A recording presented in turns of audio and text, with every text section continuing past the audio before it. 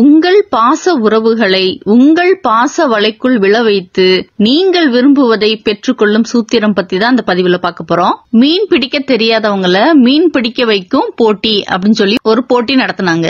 அதுக்கு ரெண்டு பேர் வந்துட்டு பேர் கொடுத்தாங்க. ரெண்டு பேருக்குமே வந்து மீன் பிடிக்க தெரியாது மீன் பிடித்தல் பற்றிய அறிவு இல்ல மீன் பிடிக்கிற திறமை இல்ல மீன் பிடிச்சு பழக்கமும் இல்லை. வலை தூண்டில் போட்டு எல்லாம் கொடுத்து ஒரு கூடையும் கொடுத்து கூட நிறைய மீன் பிடிச்சிட்டு வரணும். அதான் டாஸ்க் இது கூட ஒரே ஒரு பொருள் மட்டும் எடுத்துட்டு போலான்னு அறிவிச்சாங்க. ஃபர்ஸ்ட் மீன் பிடிக்க போனவன் அவன் குடு திங்ஸ் எல்லாத்தையும் வாங்கிட்டான். அது கூட பசிச்சா சாப்பிட்டுக்கலாமேன்னு அவனுக்கு பிடிச்ச இட்லி தோசை பூரி பொங்கல் வடை அதை எடுத்துட்டு போயிட்டான். மீன் ஒன்னும் வந்து மாட்டவே இல்ல. அப்ப வந்துட்டு இவனுக்கு பசிக்க ஆரம்பிச்சிருச்சு. அப்ப கொண்டு வந்த சாப்பாடுல எடுத்து சாப்பிட சொல்லிட்டு இவன் கொஞ்சம் சாப்பிட்டுக்கிட்டு மீனுக்கும் வந்து இவன் சாப்பிட சாப்பாட்டை இவன் தூண்டில கோர்த்து தண்ணியில வந்து பிச்சு பிச்சு போட்டு சாப்பிட்டு முடிச்சிட்டான். ஒரு மீன் கூட கிடைக்கல. காலி போட்டோட திரும்பி போயிட்டான். செகண்ட் ஆளா வந்து அனுப்புறாங்க. இவன் வந்து சாப்பாடுலாம் கொண்டு போல. ஆனா மீனுக்கு பிடிச்ச மாதிரி பொறி புழு பூச்சி இதெல்லாம் எடுத்துட்டு போறான். மீனுக்கு பிடிச்சதெல்லாம் வந்து கோர்த்து கோர்த்து வந்து போடுறான். வந்து பிச்சு பிச்சு அங்கங்க போடுறான். மீனுக்கு பிடிச்ச சாப்பாடு எல்லாம் போட போட அந்த சாப்பாடை சாப்பிடறதுக்கு நிறைய மீன் வந்துருச்சு. கிடைச்ச எல்லா மீன்களையும் பிடிச்சு கூட நிறைய நிரப்பிட்டான். கூட நிறைஞ்சு கீழே விழுந்த மீன்களை கரையை வந்து ரீச் பண்றதுக்கு முன்னாடியே வந்து படகுலயே வந்து சமைச்சு நல்லா சுட சுட வந்து சாப்பிட்டுட்டு போய் அந்த போட்டியிலையும் ஜெயிச்சு பரிசு வாங்கிட்டான். மீன் பிடிக்க போனா மீனுக்கு பிடிச்சத பிச்சு போட்டா தான் மீன் மாட்டும். இவனுக்கு பிடிச்சத பிச்சு போட்டா மீன் மாட்டுமா? இந்த கதையில வந்த மாதிரி தான் மீன் பிடிக்க தெரியாம வலை தூண்டல் போட்டோட மீன் பிடிக்க போனவங்க மாதிரி படிப்பு வேலை சம்பளம் இருக்குன்னு லைஃப் பார்ட்னரோட லைஃபுக்குள்ள என்டர் ஆயிடுறாங்க. அது ஆயிடும் வருஷ கணக்கா. லைஃப் போட்டு நகரவே நகராது. பாசமெல்லாம் நிறைய இருக்கும். பாச வலை விரிச்சேதம் கிடக்கும். அந்த மாட்டாத மீன் மாதிரி இந்த பார்ட்னர் மட்டும் மாட்டவே மாட்டாங்க. வெளியில best employee increment promotion awards rewards எல்லாம் வாங்கிடுவாங்க. ஆனா அந்த பார்ட்னர் எப்படி கரெக்ட் பண்றதுன்னே தெரியாது. கேட்டா என்ன பண்ணல.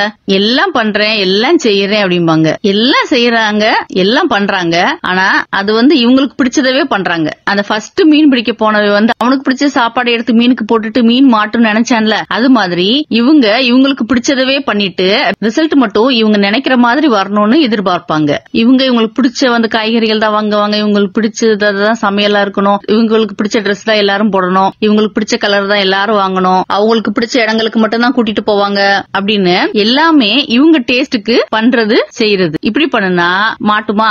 அந்த மாட்டாத மீன் மாதிரி மாட்டவே செய்யாது. நீங்க இருக்கிற திசை பக்கம் கூட எட்டி பார்க்காது. எட்டி காய் மாதிரி கசந்து போயிருது உறவுங்கள் இதனாலதான். இதே இது இந்த செகண்ட் மீன் பிடிக்க போனான்ல இவன் சாப்பாடு கொண்டு போகாட்டியும் மீனுக்கு பிடிச்ச சாப்பாடா வந்து எடுத்துட்டு போய் அதை போட்டு அந்த மீனை பிடிச்ச மாதிரி பார்ட்னருக்கு என்ன பிடிக்கும்னு நினைச்சு பார்க்கணும் கேட்கணும் பேசணும் பழகணும் செய்யணும். சிலருக்கு வருஷ கணக்கா பக்கத்திலேயே தான் இருப்பாங்க பக்கத்திலேயே தான் உட்காந்து சாப்பிடுவாங்க. பக்கத்துல இருக்கவங்களுக்கு என்ன பிடிக்கும் என்ன விரும்புறாங்க அப்படின்னு தெரியவே தெரியாது. அவ்வளவு விவரமா இருப்பாங்க. கவனிக்க தெரியாதப்ப ஒரு நாள் ஆற அமர உட்கார்ந்து கேட்டே தெரிஞ்சுக்கலாம் என்ன பிடிக்கும் அப்படின்னு. ஒன்னும் தப்பு இல்ல. சிலர் ஆடியோ பார்ட்னரா இருப்பாங்க. இவங்க பேசுவாங்க பேசுறத கேட்பாங்க. அது அவங்களுக்கு ரொம்ப பிடிக்கும். சிலர் வீடியோ பார்ட்னரா இருப்பாங்க. பேசி பேசி மொக்க போடுறது அவங்களுக்கு பிடிக்காது. வெளியிடங்களுக்கு கூட்டு போய் நிறைய வந்து பாக்குறது அவங்களுக்கு ரொம்ப பிடிக்கும். சிலர் ஷேரிங் பார்ட்னரா இருப்பாங்க. வேலைகளை ஷேர் பண்றது எமோஷன்ஸ் ஷேர் பண்றது இதெல்லாம் பண்ணா அவங்களுக்கு ரொம்ப ஹாப்பி ஆயிடுவாங்க ரொம்ப பிடிக்கும். இப்படி கூட இருக்கிறவங்களுக்கு என்ன பிடிக்கும்னு தேடி தேடி கண்டுபிடிக்கிற ஞானங்கள் உங்களுக்கு வரட்டும். ஏசு இப்படிதான் வந்து மீனே கிடைக்காதப்ப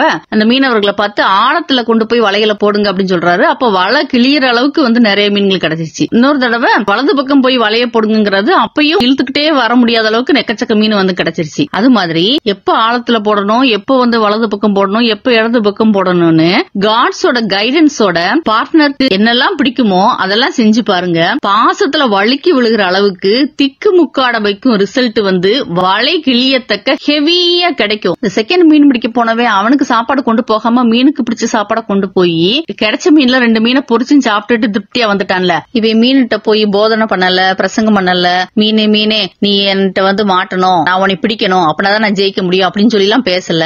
மீனுக்கு பிடிச்சத தந்தா இவன் விரும்பினது நடந்துருச்சு. அதே மாதிரி நீங்களும் அவங்களுக்கு போதனை செய்யாதீங்க. பிரசங்கம் பண்ணாதீங்க பண்ணாதீங்க. நீங்க என்ன விரும்புறீங்க அத பத்தியும் பேசாதீங்க. நீங்க அவங்களுக்கு பிடிச்ச மாதிரி நடந்துக்கிறத பார்த்தேவும் நடந்துக்கிறத வச்சேவும் அவங்கள வந்து ஆதாயப்படுத்தி கொள்ள முடியும். நீங்கள் விரும்புறது எதையும் ஒரு வார்த்தை கூட சொல்லாமலே வந்து பெற்றுக்கொள்ள முடியும். அவங்க எதை விரும்புறாங்கிறத அறிந்து செயல்படுவதும் அவர்களுக்கு பிடிச்சதை செய்யறதும் தான் அவர்களை கவர்ந்திழுத்து உங்கள் பாச வலையில் விழ வைக்க ஒரே வழி. மத்தவங்களுக்கு பிடிச்சதை செய்ய ஆரம்பிச்சீங்கன்னா நீங்க விரும்பினது நடக்க ஆரம்பிச்சிடும் பல வருட சூட்சுமம் செய்யாததை இந்த ஒரு சூத்திரம் செய்துவிடும்.